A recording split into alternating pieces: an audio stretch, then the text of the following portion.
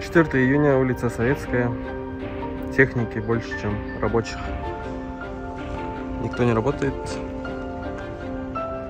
Здесь тоже. Техника вся стоит.